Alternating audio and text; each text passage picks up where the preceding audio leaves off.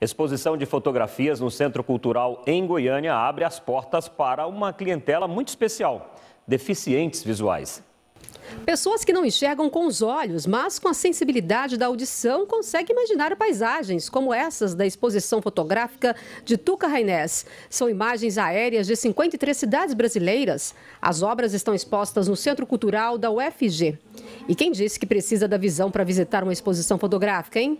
Hoje, o centro recebeu um grupo de deficientes visuais para apreciar as fotografias, seja através do toque com as mãos, ouvindo a explicação de uma profissional em autodescrição. Os participantes também tiveram acesso a textos sobre a exposição convertidos em braille.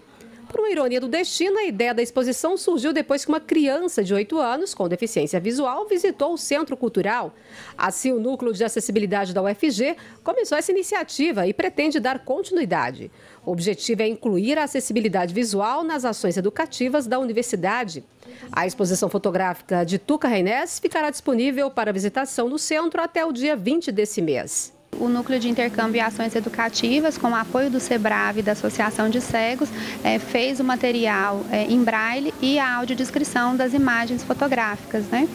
E a partir daí o, a gente pode receber os cegos é, para visita, nós estamos fazendo também esse treinamento e a gente tem um material disponível para recebê-los e fazer a mediação cultural e a atividade com eles também. É importante essas ações né, que venham fazer com que as pessoas com deficiência tenham contato com esse universo cultural.